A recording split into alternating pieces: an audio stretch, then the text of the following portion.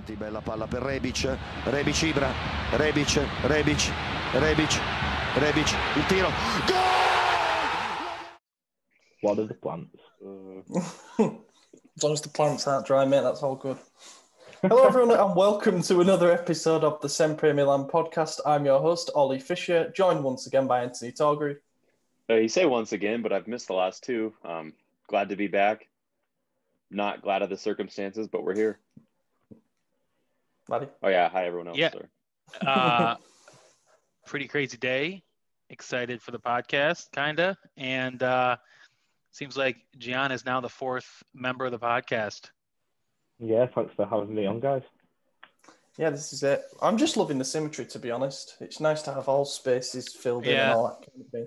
That's a very small positive on what has been a pretty shit day on it, to be honest. Um, Mhm. Do you know what I'm determined to do, though? Because we're all a little bit down in the dumps after the result that's just happened. We've been beaten 3 1 by Juventus. 27 game unbeaten run is done. Um, I'm going to start with recapping a win because I think it's important that we remember that we have actually won a game since we last recorded. Um, Sunday, beat Benevento 2 0 uh, at the Stadio Ciro Vigorito, I think it's called, something like that, whatever. Um, so this one, obviously, after the game that we've just seen, it might have faded in in the memory, whatever. Uh, but we did go there and managed to do the job. But like all games against Benevento, it didn't really go according to plan exactly. I'll be honest, I don't even remember the score line. I'm so past that right now. I remember it was Mm. 2 0, but that's all I, I remember. Seems Yeah, like so much always happens between these two games. So to recap, then, uh, to jog the memory, um, yes, it was. We won 2 0 and we scored a penalty fairly early on in the game, inside the opening quarter of an hour, because Rebic got uh, taken out while he was pressing for the ball. Kessie dispatched it, good penalty. We went that 10 men because Sandro Tonali was adjudged to have gone in high um, on, was it Insigne or Caprari? Might have been Caprari, I think that he went, allegedly went in high on.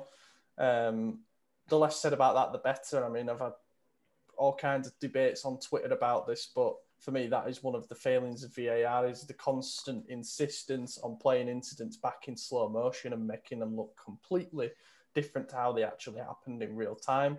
You get no concept of momentum or intent or malice from slow motion.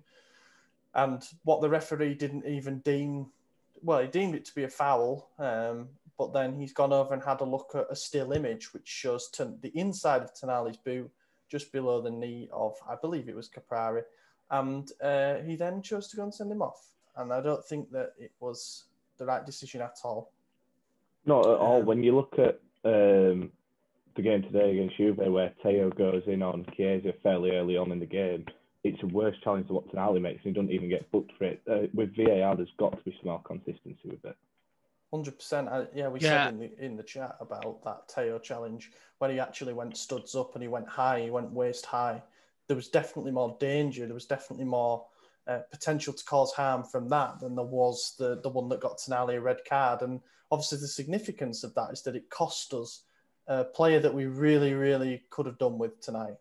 And uh, that's it. Like you said, there needs to be more consistency with it. Yeah, but the player who replaced him in Calabria is the only person who scored today. So who knows? Maybe it would have been 3-0 if he wasn't. Yeah, potentially. Um, but it didn't matter. Going down to 10 men didn't really matter in the end because we managed to stem the tide pretty well. We made it. We made a change. We hauled Brahim Diaz off, which many thought was harsh at the time because he'd been our brightest performer up until that point, or rather, he was creating the most up until that point. But he came off, uh, and obviously we showed up with an extra midfielder.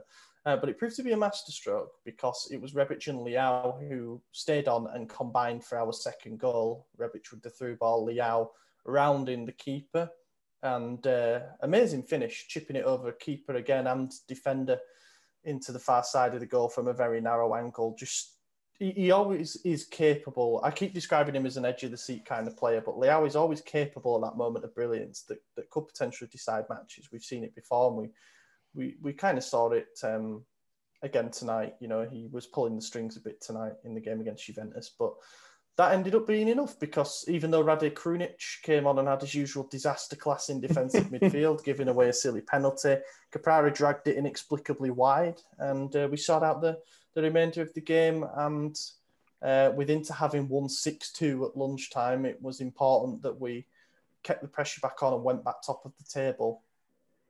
And we did it. Um, for me, there weren't really many standout performers in the game, to be totally honest. Uh, one thing I will say is that it was another big chance for Diogo Dalot at left back um, to to show sort of what we're missing out on because Teo was suspended, and uh, there wasn't really anything there from him to be honest. Um, but again, it's tough to draw too many conclusions from a game where we had a goal lead and we were down to to ten men for over sixty minutes. At that point, it's just like a you know all hands on deck, make sure you get out of there with three points, and that's exactly what we did.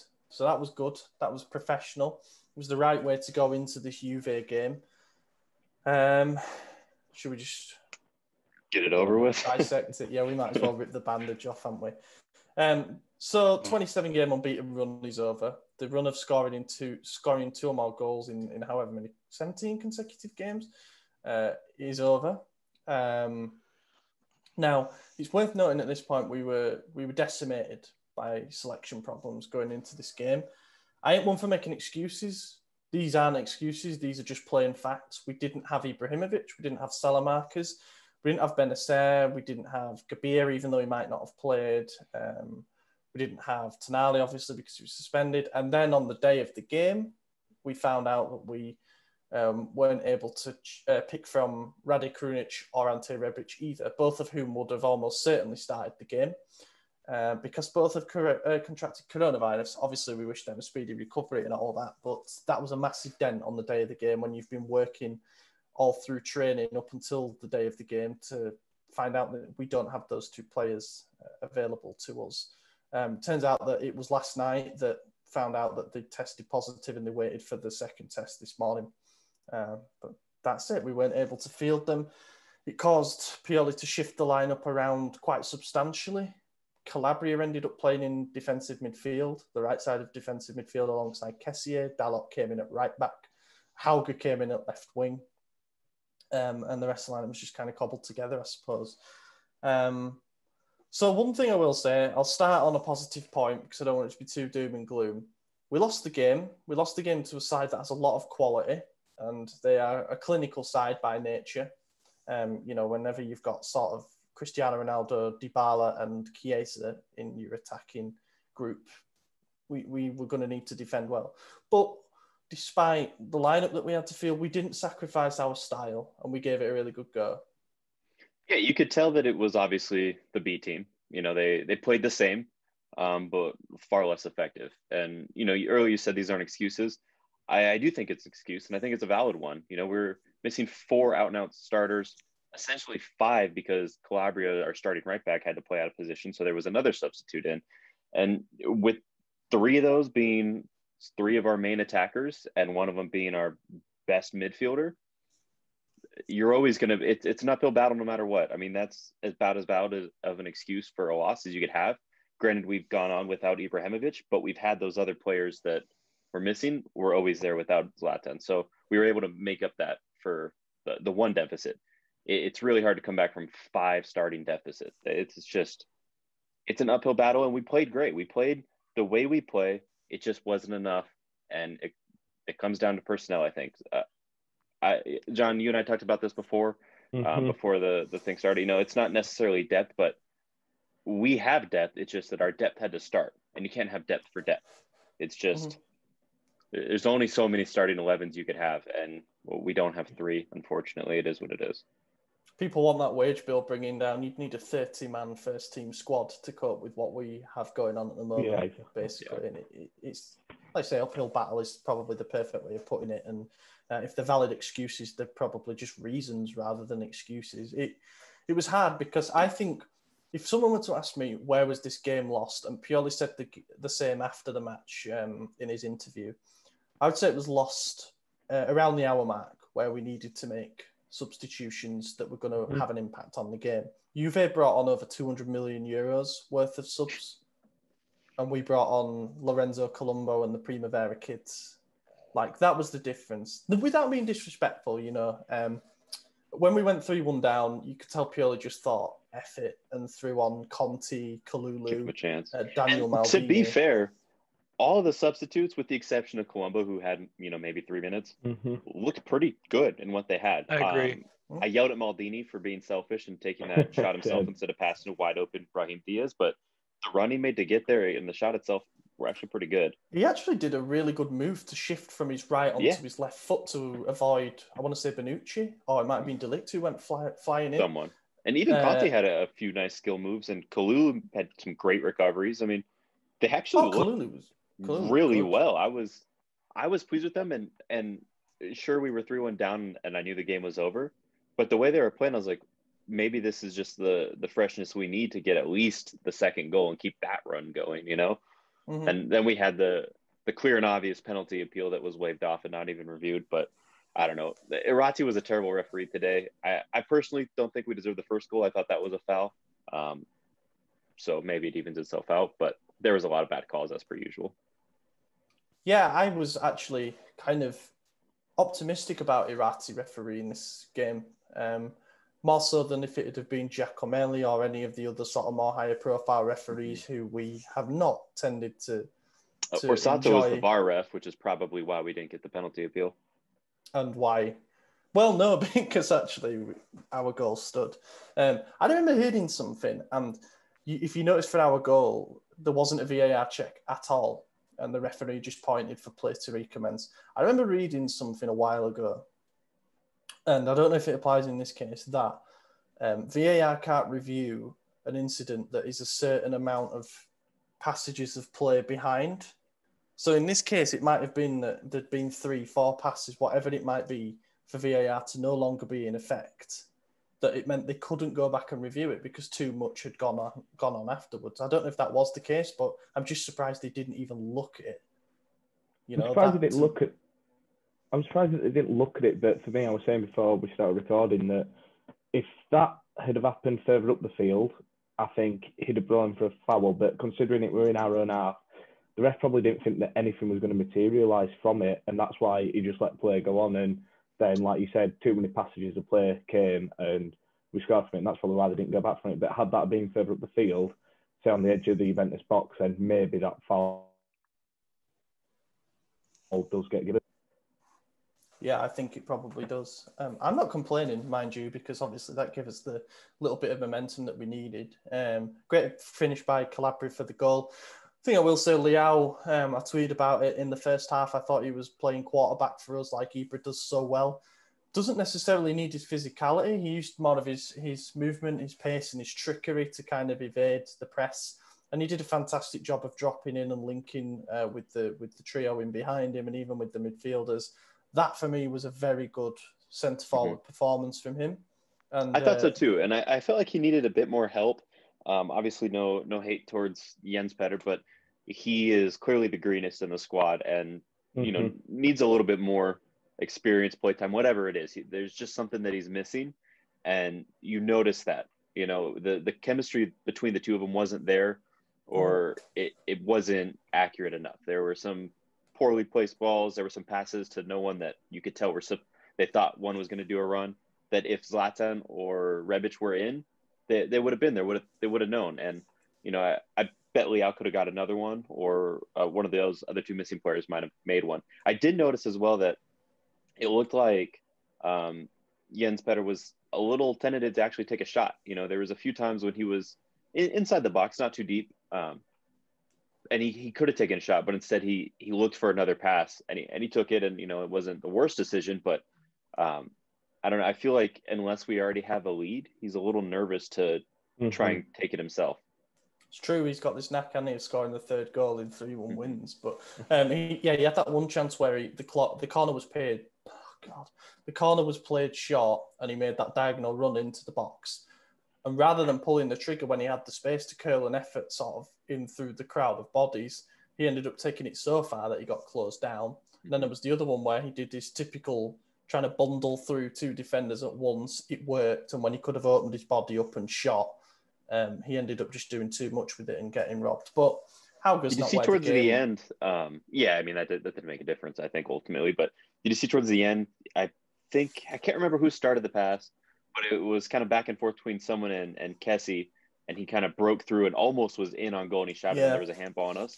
That's the exact same goal that he scored in the four two Juve victory Hmm.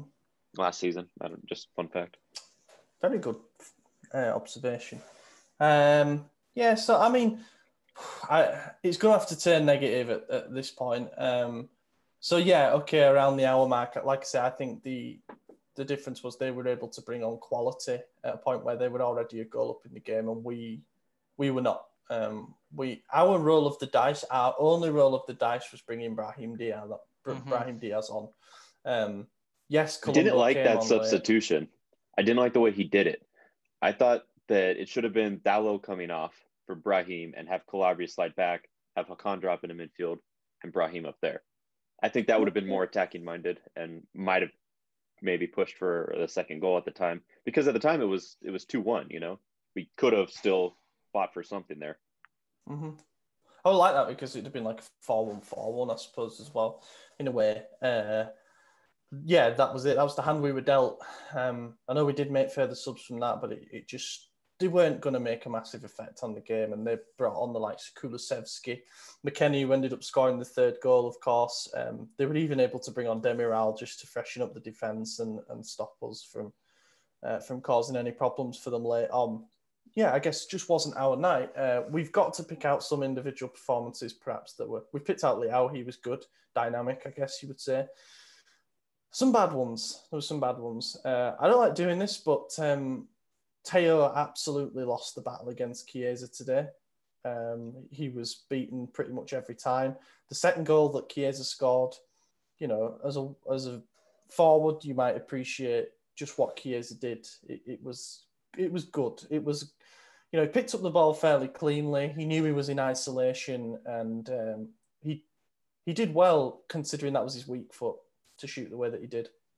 But then, if you look at it from our point of view, um, Teo just gives him too much. You know, he, he allows him to run at him. He's saying that have a five yard run at me to one of the best sort of instinctive finishers in the league, and that was it. We we paid the price for it. Um, I think Romagnoli was a bit off the boil again. Um, we keep talking about his ability, or rather lack of ability, to come up with a big performance in the big games, particularly the derbies. He's really struggled. And this is another game against Juve where I think he's been found out in certain aspects of his game. Against top quality forwards, he seems to just be um, left wanting a little bit, perhaps. You know, against. I didn't think he was that bad, to be honest. I thought he made a few good saves. Um, he made a couple of good interventions, I suppose you could say. I don't think Kjaer comes out with high marks for me either, to be totally honest. Yeah, I don't think Kjaer was great. There was a few times that he just completely missed. You know, hmm Yeah, I mean, if you- that's true. if- On the McKennie goal, he Mhm. absolutely missed. If you look at the first goal, it comes down the uh, gap between Teo and Romagnoli on the left side of defence. Chiesa gets in there. It's a great bit of play by Dybala. We know what he's capable of. So you should say maybe you need a man pressing right up on Dybala to stop him getting the ball out of his feet. But then for him to deliver the pass the way that he did, perfect weight, perfect angle. But Chiesa shouldn't be allowed to make that run. You know, that's the run that Mhm. he's, it's his trademark run, to be honest. And the finish was great, yeah. Uh, Donnarumma couldn't do anything about it, really. And then um, the second goal that Chiesa scored again, preventable. You give Chiesa a run at you um, and you let him open up and shoot on the edge of the 18 yard box or just inside. He is going to score. Well, there was a lot on, on that second goal as well. You know, you know, you have Cristiano Ronaldo running down the left flank with the ball. Calabria from midfield now draws back in that right back position next to Dalot, so they're double teaming him. Which fair play, Ronaldo's you know arguably one of the greatest players to ever live. So you double team him, but that leaves someone open. That someone was Dybala, and you can't do that. And then Dybala passes the ball straight to um, Prnjevski, and then you know Teo's beat. So there there was a lot wrong on that second goal. I think that was a complete breakdown of our team. hmm And the third goal was the killer when in the time that it came. you know, I was screaming at the TV for us just to stay in the game until the last 10 minutes because with a one goal advantage, you never know what can happen.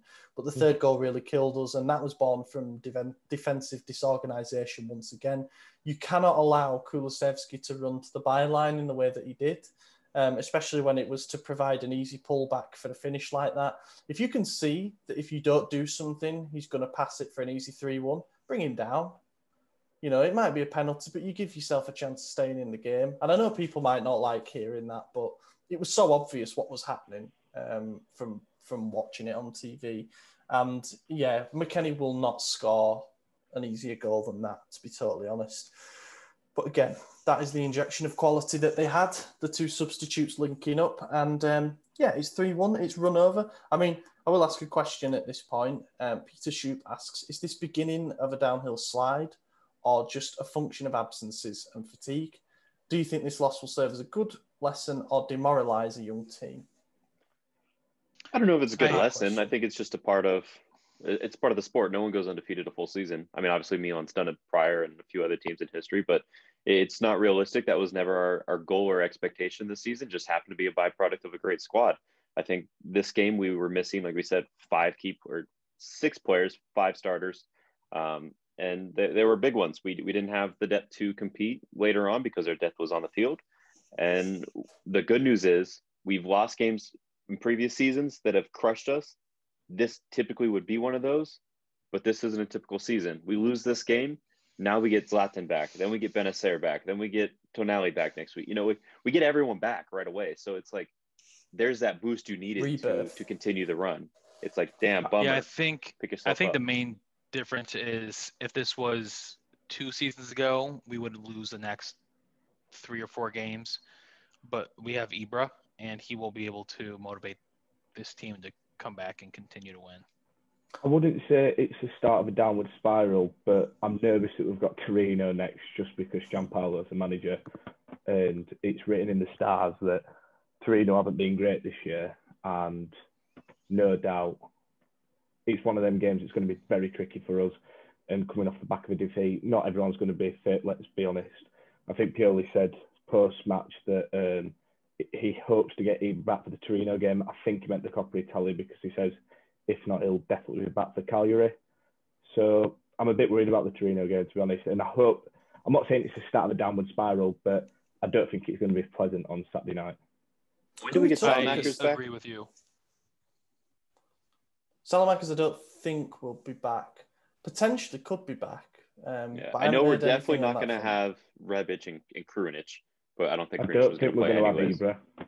Yeah, we won't have Ibra, Bennacer. Rebic, or Krunic, Bennacer, or is there. Bennacer. Bennacer, but Tonali will start. I mean, he's his suspension's up, Mhm.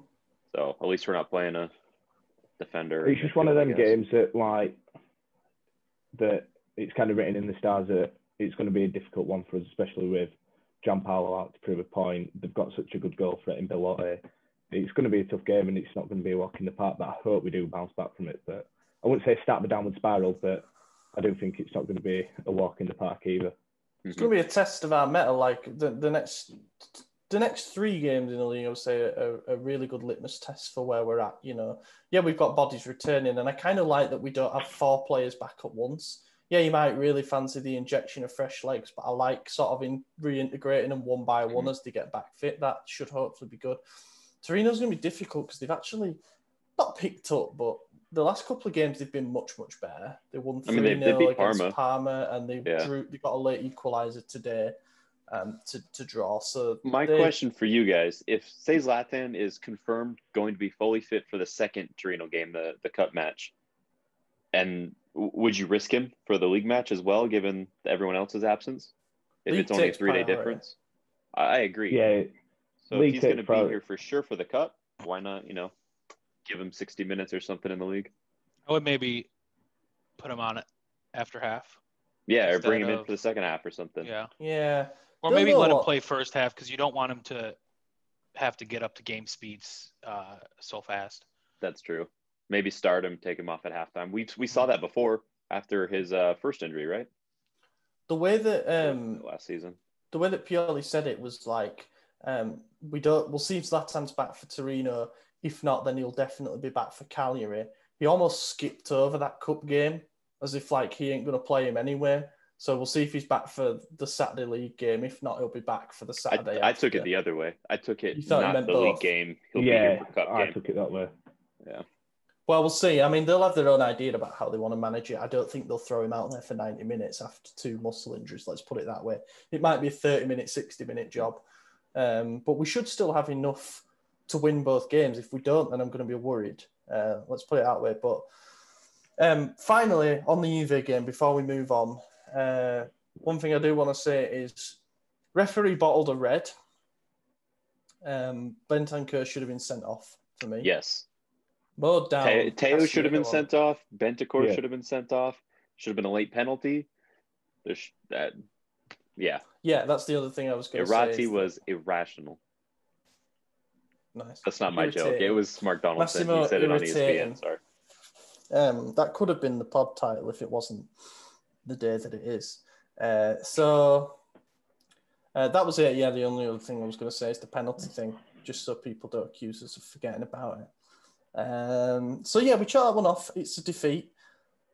It's what follows this, as we say, that that will define our season. Um, Pioli and Pirlo both said before the game that this is not a game that decides anything at all. You know, Juve are still seven behind us, even though they have a game in hand. Inter lost, thankfully, away at Sampdoria today, so it doesn't become too damaging a defeat. So we've got Torino at home, uh, and then Torino at home in the cup, Cagliari away, Atalanta at home, Bologna away, Crotone away, Spezia away. It's I know it's a nice run of fixtures, and Inter have got to play Juve in two rounds, I believe. Mhm.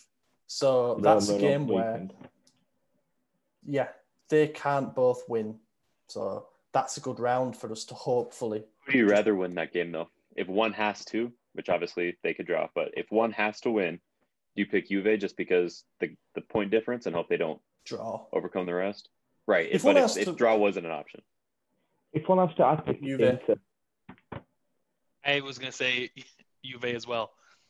I'd pick I- it I just for the fact reasoning. that if Juventus start picking up the momentum, they'll become unstoppable. Like we've seen it before, where they've been um, quite a few points behind early on in the season, and then they get them a couple of big wins, and then suddenly they surge, they become unbeatable. Whereas Inter, I think they can flop in any match, but I'd rather them beat Juve and keep Juve far away, and then Inter are going to lose again. Do you know what? Yeah. It's just what it's one of them for me where I'd rather Inter beat Juve than it be the other way Yeah, around. I guess. I mean, Inter always crash the second half of the season. So Well, I think we're capable of doing that as well. Like what we've seen today is that um, we were beaten by what, in my opinion, is nowhere near like the best Juve team. You know, they also had a couple of absences. Morata wasn't there, for example.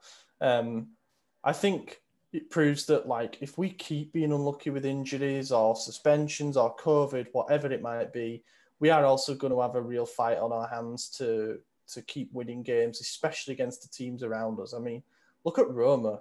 Roma are absolutely flying all of a sudden. They've kind of crept up out of nowhere. But Roma, for all their um, for all their positive traits, keep getting beaten by top teams. You know, they got hammered 4 0 by Napoli, and um, so they've still got their concerns. For us, I think this next few games, without wanting to jump ahead and a touch wood while saying this, it gives us an opportunity to potentially pad a lead at the top of the table that could become so vital. So, so vital. If at any Yeah. point we can manage to get that lead back up to four points, psychologically it will be huge. But Yeah.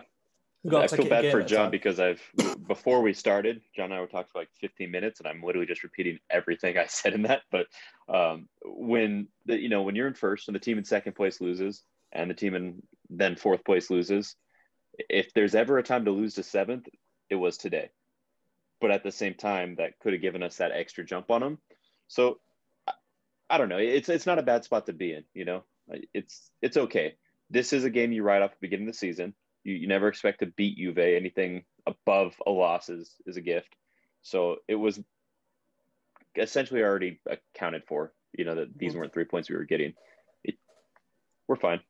It's manageable damage in it. it Yeah. yeah. it just depends on how we bounce back. We have Mhm. to bounce back strong if we want to win the league or qualify for Champions League. Because now there's only seven points between us and fifth, and eight points between us and fifth. You know, Yeah. How many? That's- There's 21 games left. Yeah, 21 games left in the season. So we're not even halfway done yet. I mean, we got a ways to go. We're good. Yeah, plenty of football still to be played. Um, right, a couple of previews, and then we'll move on to the questions in that. Uh, first of all, to well, actually, it kind of rolls into one, doesn't it? 'cause we're playing the same team.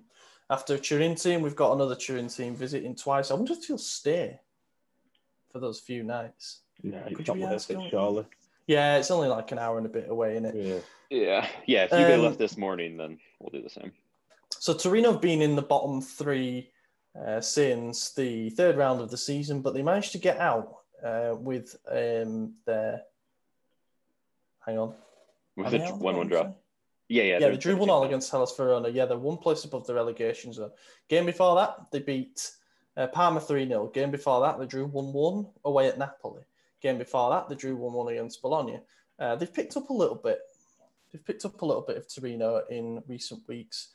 I don't think they're a formidable beast by any means, and I think Giampaolo is probably still a little bit on the chopping block because of the start to the season that they had. Um, Yeah, keyword was a little bit. You know, they, they haven't done a whole lot. Like, yeah, they got out of the relegation zone, but they, like we said about our, our chances of winning, their chances of losing, there's still plenty of football left, and they've proven that they need a lot more than we do. So, um, I think they're still going to struggle. I think they're going to be back in relegation zone fairly soon here. I, I'm confident we're going to get a win in both fixtures. I like that. I like that confidence. I'm just looking at Torino's team because I like to do this when we play. Um, obviously they've got Belotti, Yeah. um, Simone one Zaza. threat. But their defense Yeah. is ass. Yeah, it's pretty Yeah, bad. I think Karen that's what's I like. That's what's been letting them down this season. I don't think they've been playing horrendous football, um, but the defence is killing them, and it's that is why they're so far down. If not, I don't think they'd be top half, but I think they'd be maybe 13, 14, comfortable if it wasn't for Yeah. the defence. I don't think we keep a clean sheet here. I, I think Yeah. Belotti's probably going to bag another. Um, but luckily, we're a team that scored two plus goals in you know 16 of our last 17 games or whatever it is now. Um, Torino have only only failed to score in two games this season, which backs up what you were saying about us not keeping a clean sheet. I don't. Every game that we're going to, I don't think we keep a clean sheet. It's just across the back four. There's always one player that looks a liability, maybe except Kjaer, that will make a mistake or will just get a wonder strike against us. It's, I just don't ever feel confident going into a game that we won't concede. And I I'm getting more something that- confident, weirdly, especially after today, simply because I saw how well Conti did with his few minutes and Kulu with his, plus Kulu's run in the previous games. I, I think we're starting to get some decent depth now at, at um, the back line there. Hope so. Hope so. I, am not sold on Dalot, but I think that's probably Dalot. Sorry, it's probably something for another episode. But um, this, like, this should be uh, a double stretch of games where we are looking to win comfortably. Um, clean sheet or no clean sheet doesn't really matter. I suppose at the end of the day, we've got to get three points, and then if we have to rotate players, it's just about getting into the into the hat for the next round. Um, but there's nothing in Torino's squad that scares me apart from Belotti and you know and the fact that Giampaolo's manager it would just be too good a story almost. Um, we've actually been linked with a couple of their players over the last few days, in Nkoulou, the centre back, and uh, Soualiho Meité, the midfielder. Um, both of those are actually pretty good in my opinion, but I feel like it's a little late for Nkoulou. He used to be good, but I feel like he's gone downhill every year since Well, like since 13, he stopped- 14. since he stopped playing Armando Izzo, uh, I think he's gone down Kul- too. I used to love Izzo. I, I wanted him like a couple seasons ago. Yeah. Oh yeah, yeah, I did. Yeah, he was linked with a lot of top clubs like that, um, Inter and stuff. But I said top clubs. Um, yeah, I, those links aside, I think we should be winning this. Um, I'll well, we'll do the league game first. I'm actually going to say we win both two 0 I was gonna say two one for both. I don't know about 2 0, but I bet um, 2 0 for the league game, and then the cup game will be a little bit closer, maybe 2 1. Oh, we had that really, really entertaining cup game against them last season where we were trailing until very late on. I say we draw 2 2 at the weekend and then beat them marginally 1 0 in the cup. Because I think in the cup game, we're going to be playing players like Colombo, Maldini, Hauge, Diaz, all from the start, just to give the players a week long rest so we're fit for the league. Because I think that is our priority at the minute. I think Hauge's going to start the, at the weekend as well because Rebic is still going to be gone. He's not coming back yet. He'll be out for a week or two. That's true. Unless we play Diaz on the left, and Mm. then I don't. There's a lot of interchangeable players in that. Or if forward Zlatan comes back, then Leao on the left. Yeah. I mean, Dan, I've I been, think saying, Go on. I've been saying it for a couple of weeks. I'm just not sold on Hauge at the minute. Like, yeah, I think he's got a lot of potential, but if anyone needs a road move at the minute, it seems to be him. He's been good in Europe, but whenever he's got a chance in Serie A, bar maybe the Napoli game, he hasn't really done. He's he can press the ball, but every time he's on it, he looks a bit like a headless chicken when he's running. And I think a load move to another Serie A club would be very beneficial for him if we can, if we've got the depth up there We don't. I think that's the to problem. allow us to do I- it. I don't think we can. We'd be stuck with no one if we loaned him out now. For example, it's all right, sort of presuming that we we've got players who can stand in. Um, I did see one journalist on Twitter say that we'd rejected a loan bid from Bayer Leverkusen. Leverkusen. Yeah, which shows the kind of clubs that are circling. I think we keep him. I think we keep him here and we let him grow with our style. Even if he only gets fleeting minutes over the next few months, I think it'll be important for him. If we're keeping Daniel Maldini and Colombo around, then how Hauge more than earns his spot based on what we've seen so far. I But think agree what we he's been do- much better in Europe. We loan him out specifically to Dortmund and tell him it's not because we think you need to get better. It's so you can flirt with Holland. Tell him, hey, over here, bro. And then Dortmund buy Hauge for 15 million in the summer. Exactly. so that's that. Uh, unbeaten rundown, whatever. We move on. Uh, hopefully, we can do the other Turin team. That would be nice. Market stuff then. So we've had a couple of. Oh, first of all, I have to say uh, we are delighted to have Pietro Balzano Proto on our team. PBP Calcio, as you may better know him from Twitter. Uh, he'll be providing updates on the market throughout the month for us. We're, like I say, we're absolutely delighted to have him um, have him join up with us. So stay tuned for that. And if you want to find his stuff uh, straight away on the website, just go up to news. It's on the drop down bar exclusive, and that's where all his all his stuff will be for the month. We'll we've had some tasty stuff already. Um, so we'll talk about the two signings that appear to be the closest at the moment. We've spoken at length, I suppose, a bit already about Mohamed Simakan um, and come to the conclusion that none of us are avid watchers of Liga and therefore don't know too much about him. The hope is that this gets done in the next few days. Um, there are some sources who are suggesting that he could actually have played his last game for Strasbourg today. His barber actually posted something on Snapchat saying the last one as he was doing his hair, so that implies that something's uh, something's happening. Simakan himself posted on Instagram. Um, he's currently got purple hair, or he did at the time he posted it, and he posted a picture of him with red and black hair uh, that said loading. And yeah, often you read too much into social media, but that for me is pretty blatant. Um, and it seems like it's going well. Uh, Leipzig have tried, as Pietro told us. Uh, Leipzig tried to enter the race, but he only wants to join us. It's going to be somewhere between 15 to 20 million euros by the sounds of it. Very highly rated in France. And for me, I don't know, it makes me feel a bit safer knowing that Leipzig also want him because they haven't really missed with a lot of their re- recruitment. So uh, Neither is that me- Maldini though, so I Yeah, exactly. uh, It's further further Maldini valid, sees someone. valid- validation, whatever the word is. Um, so uh, scale of one to ten, how excited about are you about the idea of Simakan joining? Six and a half, simply because it's more depth in a position that prior to today I was like, yeah, we're pretty weak in. But now I know that we'll have Kalulu and Simakan plus Gabbia whenever he returns. That that's exactly what we need. You know, we, we saw Juve today bring on Demiral in the 90th minute for shits and giggles because they have that many great defenders. It'll be nice if we could do the same. So I, I think he's pretty solid. I've watched a lot of comps on him and he looks great. Obviously, that's the whole point of a compilation video is to make someone look great, but it definitely worked. And he had a lot of material for it. So I'm game. For me, between a five and a six. I just I haven't seen enough to warrant any higher. Um, I think until we get rid of Musacchio and Duarte, I don't really see the point in bringing in another centre back until they're gone. Obviously, we need one, but like when you look at the bench today, and there was two centre backs on it, three if you include Kulu, plus Conti, to add another centre back to that, it's just piling up the wage bill.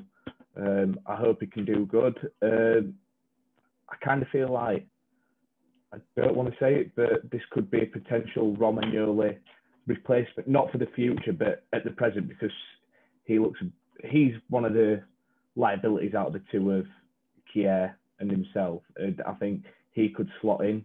Simakan could slot in instead of Romagnoli, and potentially it could lose Romagnoli's place, especially with the Donnarumma contract renewal coming up and a potential captaincy armband being waved around. I don't know. I just feel like that it could potentially happen. I would 100 support 100% support giving Donnarumma captain's armband. I think he's way more vocal during the game.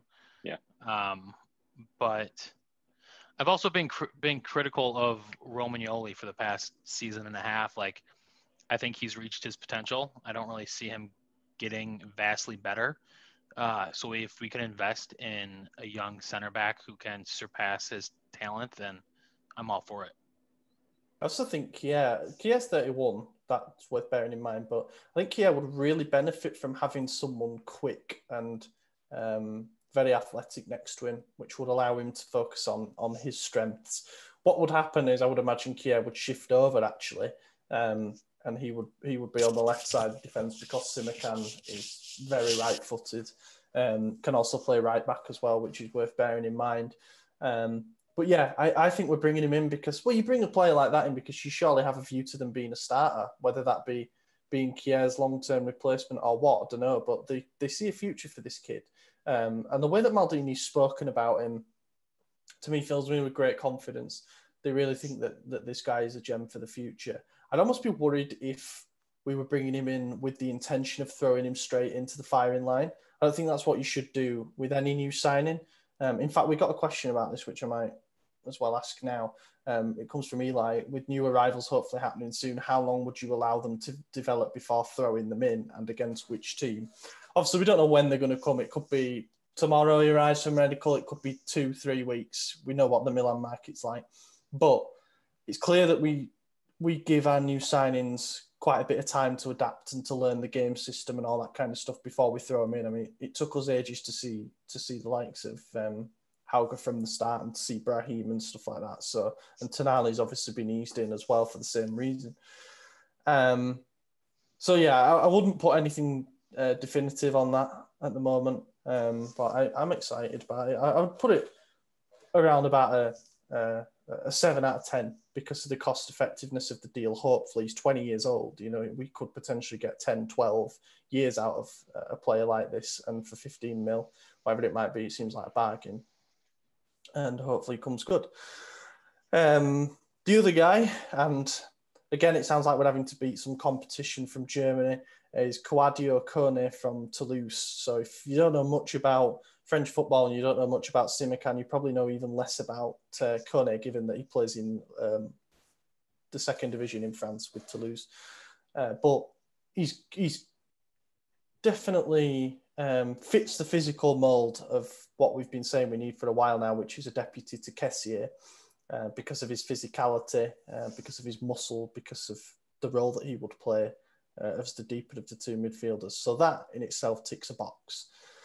Um, in terms of top flight experience, perhaps not, but in terms of us then being able to get a deal done for what might be somewhere between five and 10 million euros, that makes it seem like a low risk investment. Um, again, he's on. I think he's only 19, so even younger than Simakan.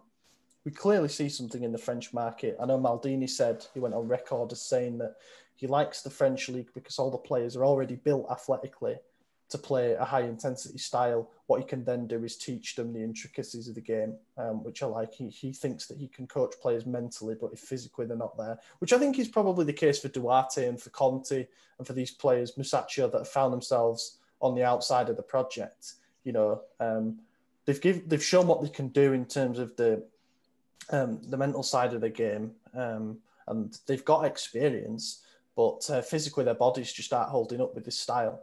I think Maldini's saying we're going the other way now. We're going to get players in who we know can keep up with this, and uh, then we can coach them into being what we want. Um, so yeah, Kone, I'm guessing there's not many videos of him knocking about, to be fair. Um, but he looks pretty dynamic. He kind of reminds me in a way of, you know, we were linked with the Benfica lad Florentino Luis Mhm. in the uh, summer, throughout the summer, and he ended up going to Monaco. I think he went to in the end. Yeah. Uh, reminds me of sort of like that little tenacious. Um, will nick the ball off you when you don't expect it at all. Can also kind of drive play forward. So I'm excited about this one because of the price. I give this a seven point five because I think it really fills a hole that we need. We we need a fourth midfielder, and who better to put there than a promising 19 year old who can grow. Fit midfielder. Krunic is not going to play there again for the rest of his life. Not if he doesn't recover from COVID, um, which I beat. Oh by That's way. very God. morbid. To be fair, that is very morbid. Wow. Uh, well, it's okay. Oh, congrats. Uh, Yeah. Welcome back, by the way. Yeah, well done on your Yeah, no longer a statistic. Um, quicker recovery. well, you are, I Manuela. guess. yeah, I guess I'm more of one now. Um, but anyways, I if so if we go off the logic that Maldini doesn't miss and this will be a great signing for the future, then because we need someone for this position, because we obviously learned today that we just we don't have enough there, um, then this is like an eight for me. You know, going off the assumption that he's a great player, we need someone. So, and, and I don't think he's going to be starting over Tonali or Bennacer or Kessié, but that's not what he's there for. You know, he's there to slot in afterwards. So, even if it's just to give Kessié a little bit of a break in the 70th, 80th minute, bring him on if they're a similar profile, like they say, then fantastic. I really like the idea of um, if both had been in and both be fit, both eligible, whatever. That like cup game, if we're going to be savvy about it, we're going to rest bodies and stuff. That okay, first choice duo Kessié Bennacer, rotate them both out. Kone, perfect replacement. for Kessié Tonali, perfect replacement for Bennacer as that Mhm. kind of box to box pushing presence. That is Yeah. where you think we've got two two quality. We've got one world class quality pair in there, and one has the potential to become a quality pairing. So that it makes And, sense. and that's how you avoid drop in form when you make substitutions is you have the backup fit the same mold. The system Mhm. doesn't have to change for this. We don't have to make any adjustments. You slot right in like for like. It's fantastic. For me, it's probably a seven. I'm more excited for him than I am Silicon, just purely because it is a position we're desperate for. I don't think, like I said before, I don't think centre back's a position we're desperate for at the minute. With what is it, like six potential centre backs on the books. Um, so yeah, I'd give this one a seven. I'm looking forward to it, but I'd rather, I would rather the fourth choice centre midfielder be a little bit more experienced because I feel like we've got three young players. But if you add a fourth experienced one to the mix that can come in instantly and do a job and not have to worry about how raw he is, it'd be a bit more beneficial. But yeah, I'm excited. Problem is, you'll do well to find a, an experienced player who's No, willing of course you to be fourth spot. yeah, course um, will. It's ideal world. Yeah. Same with like we talk about the potential of bringing back Rudiger. It's like good job selling him on the fact he's going to be a fourth choice centre back, considering that he's probably then got a better prospect of playing at Chelsea. Um, but yeah, it's just the market. I think it's it's targeted recruitment. It's smart recruitment. I put a tweet out saying um, because you know there's there's been all kinds of rumours both from France and in Italy that we're still on pole to get uh, Thauvin. Probably going to be the end of the season, so we avoid paying a fee and I wouldn't upset the balance that we have on the wing at the moment. Um, I'm not. I'm still not. Never going to be sold on Samu Castillejo. Um, I, I think that ship has sailed now because of his inconsistency. But Saelemaekers, you know, I, I think it would be very harsh to bench him by bringing in a winger uh, midway through the season. We've seen how important he is. Keeps the run going as well, by the way, by not playing tonight, of, of never having lost. Um, so yeah, I think it makes sense to bring him in free transfer ahead of the new season, give him a full pre-season to kind of uh, learn the system and, and, learn what's required of him. But the idea of getting um, one of France's highest rated defenders under 21 in Simakan, um, a talented midfielder in a spot that we need, and Thauvin, you know, a, a World Cup winner, a very experienced winger, goals and assists guaranteed. To get those three for a combined transfer fee of around 20 million euros, it can't go wrong, surely. Like you pay 20 million euros for some really shit players nowadays. You know, I know we got Theo for, For 20 Kalachi. million, but also they want they want 25 million for Scamacca. And you think, Mhm. I think Danny Drinkwater went for like 30 million. So I will never say a bad word about Danny Drinkwater. Town legend. Huddersfield Town legend. Same with Ben Chilwell, to be fair. Um, we are literally the I actually like football. Chilwell. I think Chilwell has done well, but Mate, he's, he's the only player that we've had on loan at Huddersfield where I've said to the people around me, he's going to play for England one day. He was just that good when he was with us, and sure enough, he has. Uh, right, questions. Marco Vi- Vieja, I hope I've said that right. After today's match, where do we need to strengthen? Midfield. Midfield. Midfield. I will say, I, I think. Um, I, don't know if it, I don't know if it was you who said it, AJ, earlier, but I don't think Calabria had a terrible game, to be honest, in No, defensive but- midfield. I think he But would have been better solution. used in defense. You know, yeah, in his natural spot. Once again, I remember absolutely nothing about what Dalot did, apart from have that shot saved. Um, He had a few really good crosses and a few really bad crosses that had nice curve on it. but I don't understand why we kept crossing when it was so obvious that that wasn't going to work for us because Leao ain't going to score headers from crosses. Because when we're Mhm. desperate and we have Zlatan in, it does work. That's true. It's almost as if they were saying, Zlatan, please look at what we're doing here. We need you back, mate. Yeah. Um, so, yeah, midfield unanimously agreed. We need a, a, a reliable fourth choice midfielder. And um, attack. What were you thinking there? No, Jan, I for thought you said attack. Oh, sorry, it just all completely froze. Um, yeah, no. Um, for the attack, I'd like to see a right winger come in, and I was totally against this at one point. I just think Castillo's that kind of impact sub that if he comes on, you feel like yeah, he's got a goal in him. Um, Maker kind of fits only one system, which is the press. Um, but a, a, a type player um, would be perfect someone that will just run at defenders all day. He'll take them on. He can score goals, provide assists, and it just gives us a completely different game plan um, when we need it. I said in the group chat the difference between um, Castillejo and, and Thauvin is that that chance early on when he kind of stumbled almost into possession from that giveaways that uh, with Thauvin, he makes that 1 0. Castillejo sent a weak shot at the near post that was turned behind for a corner.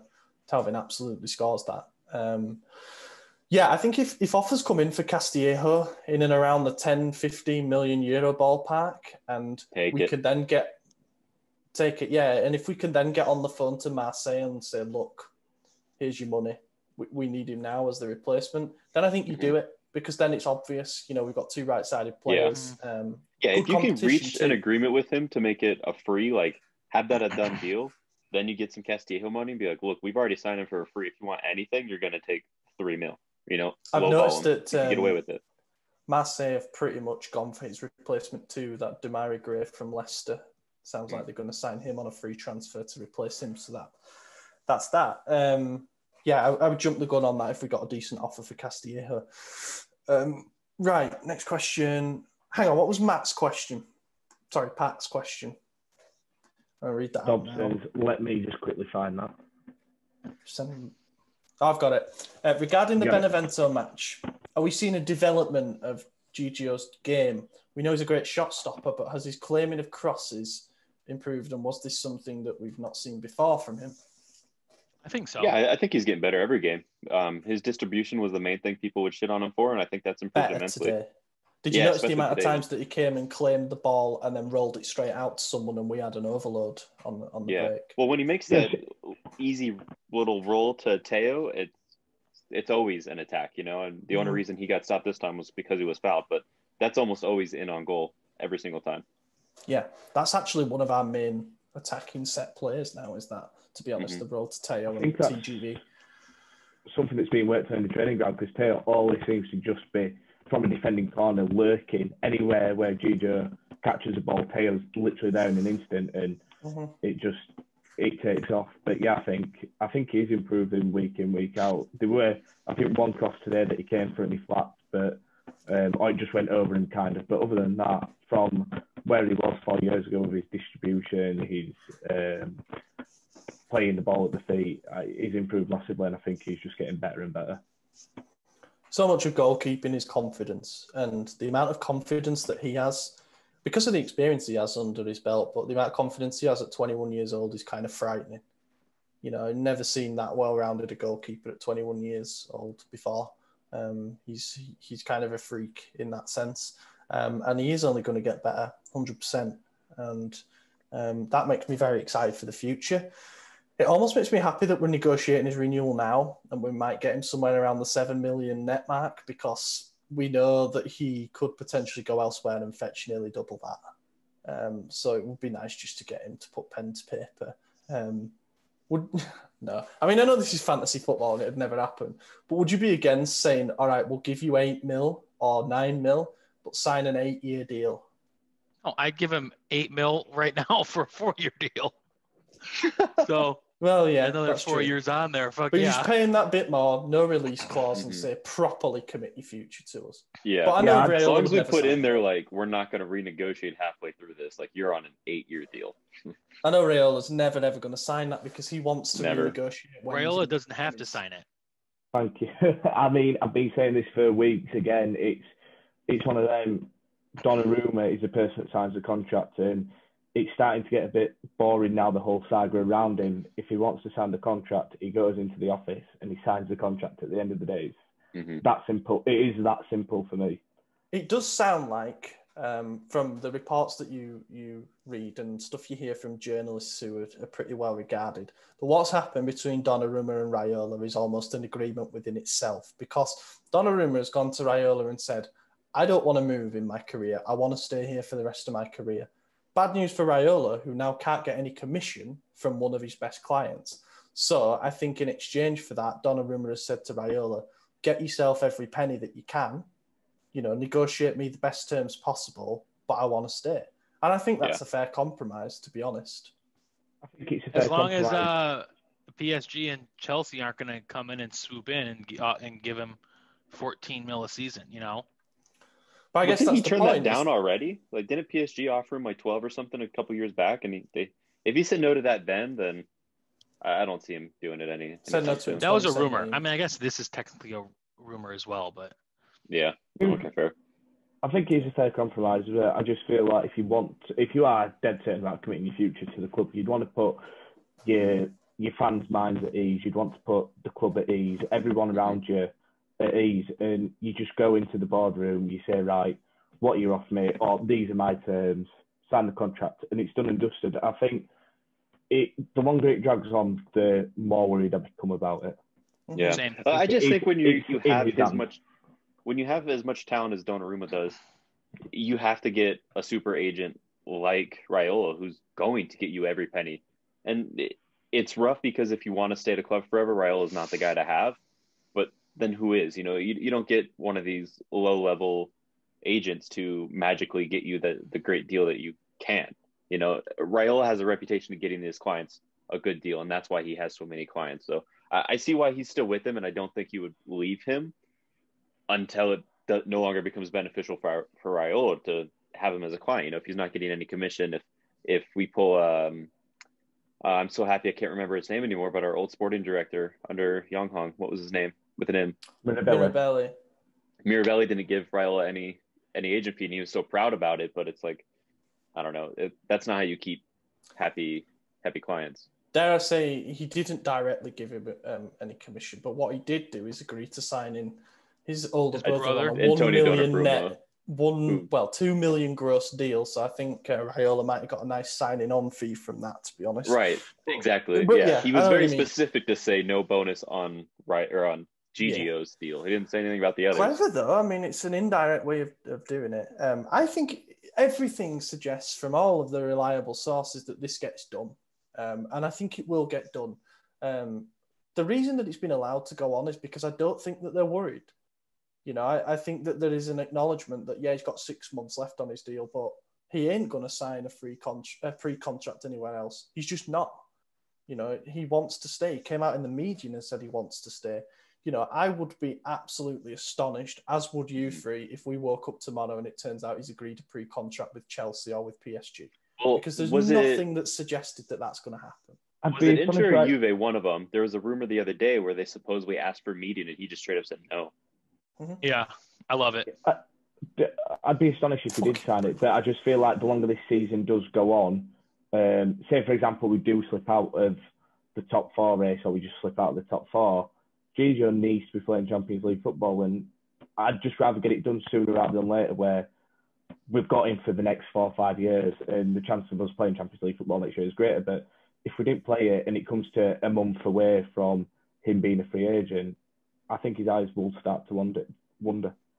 I can see that. Never gets to a month away. He might get to like three, four months away, but I don't think. I think it gets done by the end of this month. To be totally honest, um, you're right about him deserving. I don't think it gets done this month. I don't think so at, like, either. March. I don't think it I was does. gonna The longer March as well. every day that it goes on, it just seems like an extra needs to get done this month. But I just think we're there going is- to focus on incoming transfers right now. If if Donnarumma is so vocal about I'm going to stay here the rest of my career, then it's not a priority. Put So on get get the transfers done, so you know what your budget is after that. After you've completed your market, then you could do your renewals with you know solidarity. Mm-hmm. Mm-hmm. Um, yeah, I, yeah, I just see it getting done. I, I see the Calhanoglu thing getting done as well because as time goes on, those links are kind of vanishing, and it's more optimism filtering that we're going to find a meeting point around the four million net mark, which I don't mind at all. I really don't. Um, I, I think now There's we're the another renewal as well, isn't there? Zlatan. Labria and Kessié. Yeah. there's some in 2022. Yeah, 2022, we've got um, we've got Calabria, Kessié, and Romagnoli. I could have No, sworn there was a third one for for this term though. I would Um, sell Romagnoli this summer. Musacchio's- Oh, Musacchio, yeah, yeah, he's going to expire. Conti's 22 as well. Um, How long Yeah, does so Duarte have? Because if Musacchio is expiring, 24. I guess we're bringing in Simakan. Oh, jeez. We signed him on five-year deals in summer 2019. So that was the point: is that the transfer fees were pretty much all divisible by five Yeah. um, for amortization.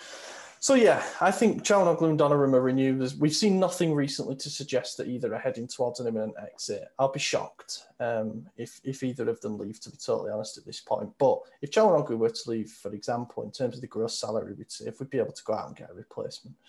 Um, right, couple more questions. People, as the season goes on, does the depth of Juve and Hin- Inter start to hurt us? Um, I, I don't think it. do- I think it hurt us there because of the unprecedented amount of injuries we had, and obviously the two COVID cases this morning. But once the transfer market's done and we get a fully fit squad back, I don't think we're ever going to be in this position again where we've got this many injuries. So I think we'll be able to compete with them. Yeah, to me, it just comes down to if, if our guys are fit or not. You know, if, if they're fit, then we have the depth. If they're not, then we don't. I think Inter are going to get done at some point. Um, I know they did have a couple of problems when they played us, but as I keep saying, they they had a bit of a scare actually against Crotone because Lukaku came off with a thigh injury. Turns out he was fine to play, uh, however long, twenty minutes today against Sampdoria. But um, I think that's a little problem for them, and uh, their Lukaku injury away from from finding things really tough. I think um, perhaps also a defensive injury away. Juve, I don't know. I don't think Juve will be hit as hard. I think that their depth is almost more of a constant level than everybody else's. Um, they can, you know, lose Bonucci and bring in Demiral. Um, they had Chiesa playing, um, and they were able to bring on uh, Bernardeschi. Kulusevski. But yeah, whatever you think of him. Um, so um, will the depth start to hurt us, like you guys said, uh, only if our depth is hurt?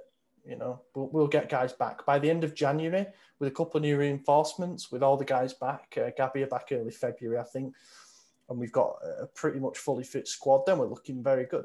We're looking good. We're looking like we can compete on all three fronts again: League Cup and, and Europa League. Um, Luciano Perani says, considering all our absences, I was kind of satisfied with our performance today. Can't come up with a question. Um, so I'll just wish you a happy new year instead. Well, happy new year to everyone Happy New Year, as mate. well. Actually, Yeah. uh, probably should have said that at the start, to be honest, as well. Um, happy new year to all of our listeners, given it's the first time that we're recording this year and everything. Oh, it is. Man, I feel like this year's already been so long. Oh, I know. I It's only been a week. Jeez. Not even it's six Um, days in. Jeez. Yeah, I think that's pretty much it, to be honest, lads. Um, so we'll cut it there, conscious of time and everything. Um, yeah, I've been your host, Ollie Fisher. You can find me on Twitter at Ollie Fisher or at Kilpin Chronicle. Being joined by Anthony Torgrude. Yep, glad to be back. Um, don't see that changing. I'll be here next week. Oh, oh, next week we're um, changing recording days. We're going to be recording on weekends as opposed to midweek. So um, be on the lookout for episodes on the weekend now. But follow me on Twitter at Torgrude45. Yeah, um, glad to have everyone back. Edward underscore underscore to- underscore Toth. Yeah, thanks for having me once again, lads, and hopefully I'll see you next week. Follow me at UK underscore AC Milan. He's got it right for the first time. Um, yeah, and just before signing off, a reminder go check out our exclusive transfer news. Delighted to have Pietro on board. That'll be some good stuff. Of course, you'll be able to find it on our Twitter feed too. Um, hopefully, should have some exciting news regarding uh, video stuff, video podcast related things um, to announce soon as well. And uh, check out our shop if you haven't already. Go to the website, and uh, there is now a little box where you can go to our shop and, and buy products with one of our three designs. Really appreciate the support on that front. Um, if you're wanting to support the podcast and wondering why we don't have a Patreon or anything like that, uh, don't worry about it. If, if you buy our merchandise, then that is literally the best support, really, just getting our designs out there and stuff. And let us know if there's anything you'd like to see us do. Um, so, we yeah, also thank you very all much. have Venmos. You can just give us money. Sorry, go ahead. Send us Bitcoin. Yeah, Uh, right. Yeah, I'll take that. Um, yeah, thank you very much for listening, everyone, and we'll catch you again in a week's time. Andrea Conti, bella palla per Rebic, Rebic Ibra, Rebic, Rebic, Rebic, Rebic, il tiro, gol!